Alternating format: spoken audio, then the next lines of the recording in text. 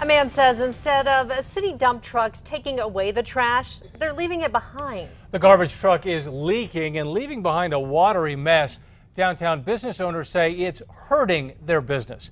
News 13's Jeannie Nguyen is here with the photos and what the city has to say.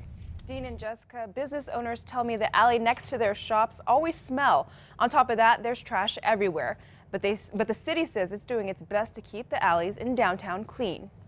Every time the garbage can or the garbage guys come through, there's always like residue left behind. James Black is the owner of T-Shirt Lab. His business is right next to this alley on 4th and Gold. This picture was taken by another downtown employee who says he sees the city's garbage truck dumping liquids in the alley every week. Black says he's been in business for six years at this location and is tired of it. We're actually getting complaints, people coming in to our businesses, but the odor in this alley as well. But a spokesperson with the city's solid waste department says the garbage truck has a leak. The picture um, shows some liquid coming out of the truck. It's it is coming out of the truck. It's an older truck.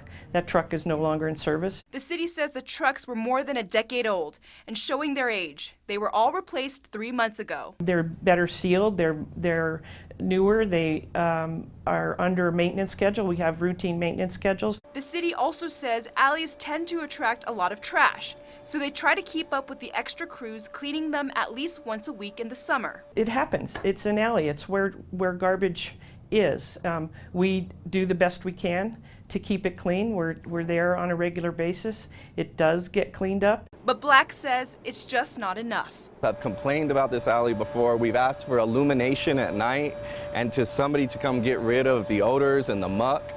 Nobody's gotten back to us.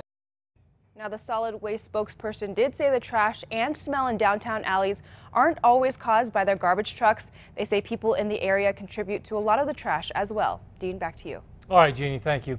The city urges business owners and citizens to report any trucks that are leaking through 311 so they can address the issue immediately.